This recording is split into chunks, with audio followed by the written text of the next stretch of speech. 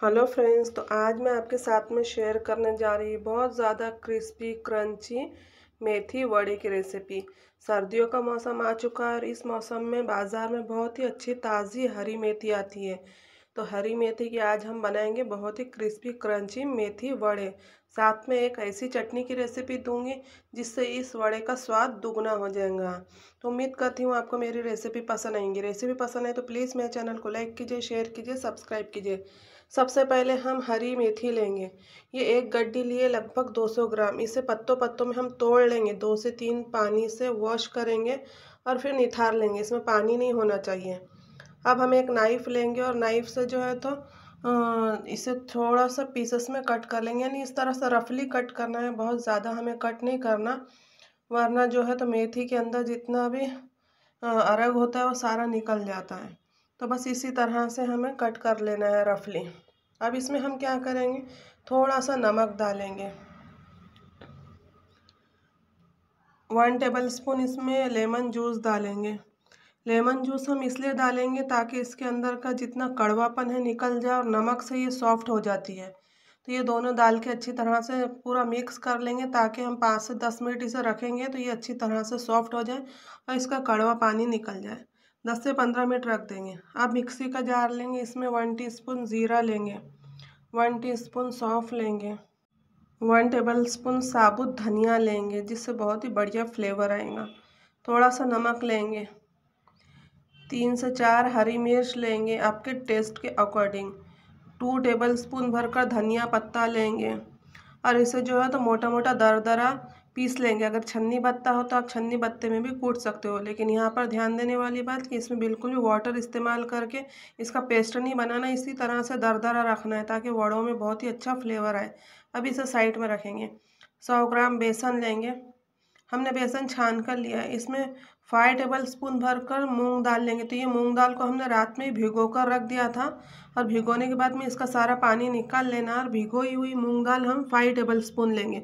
Optional है, अगर आपको डालना हो तो डाल सकते वरना स्किप भी कर सकते नमक लेंगे अपने स्वाद के अनुसार। हाफ़ कप भर कर जो है तो इसमें हम वाटर डालेंगे, लेकिन थोड़ा थोड़ा करके हम वाटर डालेंगे। अगर मूंग दाल में पानी ज़्यादा रह जाएगा ना तो फिर हमें वाटर कम डालने की ज़रूरत है। हमने अच्छी तरह से मूंग दाल को निथर करके ली है। अब इसमें हमें लगभग आधा कप हमने इसमें पानी यूज़ की है। इन दोनों को अच्छी तरह से मिक्स करेंगे, जितने भी जो बेसन में के लम्स हैं ना, वो सारे निकल जाने चाहिए। और अच्छी तरह से मिक्स करके इसे स्मूथ बनाना है, ताकि ये जो है तो बहुत ही स्मूथ और एकदम परफेक्ट बने। तो यहाँ पर हमने अच्छी तरीके से इसे मिक्स कर लिया। इसके अंदर के सारे लम सब ख़त्म हो चुके हैं। अब इसकी कंसिस्टेंसी देख लीजिए। इस तरह की हमें कंसिस्टेंसी रखनी है, ज़्यादा पतली नहीं रखनी, क्योंकि हम इसमें अभी मेथी भी मिलाएँगे ना तो मेथी से और ज़्यादा पानी ये छोड़ता है। तो यहाँ पर मेथी हमारी बढ़िया तरीके से भीग करके रेडी हो चुकी थी। अब इसे भी हाथों से अच्छी तरह से निथार लेंगे, ताकि इसका जितना भी कड़वा पानी है वो सारा इस तरह से निकल जाए। निथार के ही हमें लेना ये पानी लेंगे तो मेथी थोड़ी कड़वी होती है तो वड़ा भी थोड़ा कड़वा लगेगा। तो इस तरह से हम लेंगे। अब इसमें हम डालेंगे एक चॉप अनियन, यानी अनियन को हमने कद्दूकस किया और कद्दूकस किया हुआ लिया है। अगर आपके पास में कद्दूकस ना हो तो अच्छी तरह से चॉप करके लेना है। मीडियम साइज़ का अनियन लिया, आठ से दस कलियाँ लहसुन के लिए इसे भी फाइन चॉप कर लिया। पिसा हुआ भी आप इस्तेमाल कर सकते हैं, लेकिन इससे बहुत अच्छा फ्लेवर आता है। अब इन सारी चीज़ों को अच्छी तरह से हमें मिक्स करना है। अच्छी तरह से मिक्स इसलिए हम करेंगे ताकि जो मेथी है तो मेथी के अंदर और भी बहुत सारा पानी निकलेगा, क्योंकि ये इसमें हमने लेमन वगैरह मिलाया ना तो ये और भी पतला हो जाएगा। इसके बाद में हमने जो पीसा हुआ मसाला है तो वो भी हम इसमें मिक्स कर लेंगे। अच्छी तरह से हमें मिक्स करना है, ताकि मसाला मेथी को बहुत बढ़िया तरीके से जो है तो लग जाए, और इसकी कंसिस्टेंसी आप देख लीजिए।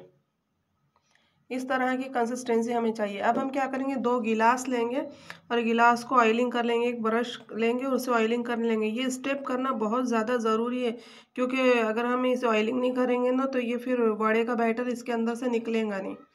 तो इस तरह से हम वड़े का बैटर इसमें डाल देंगे। इसकी थिकनेस देख लीजिए, बस इतनी थिकनेस वाला बैटर हमें चाहिए, क्योंकि एकदम पतला रखेंगे तो ये फूल कर ढोकले की तरह हो जाएगा। अब इसे डैप डैप करेंगे। अब हम क्या करेंगे? इसे स्टीम देंगे। तो स्टीम देने के लिए कढ़ाई लेंगे। कढ़ाई में एक गिलास हम वाटर डालेंगे और इसे ढककर पकने देंगे।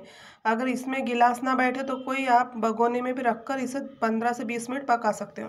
अब इसकी चटनी बनाएँगे। पकने के लिए हम छोड़ देंगे। इसमें एक मिक्सी का जार लेंगे। थोड़ा सा पुदीना लेंगे। चार से पाँच या आठ कलियाँ लहसुन की लेंगे। तीन हरी मिर्च लेंगे। वन टीस्पून ज़ीरा लेंगे। टू टेबल स्पून धनिया लेंगे। नमक डालेंगे अपने स्वाद के अनुसार और इसमें डालेंगे टू टेबल स्पून लेमन का जूस लेमन जूस ना हो तो आप दही भी इस्तेमाल कर सकते हो और इसे एकदम फाइन पेस्ट बना लेंगे। एकदम फाइन बनाना है। अगर आपको पतली चटनी चाहिए तो आप इसमें जो है तो वाटर और भी इस्तेमाल कर सकते हो।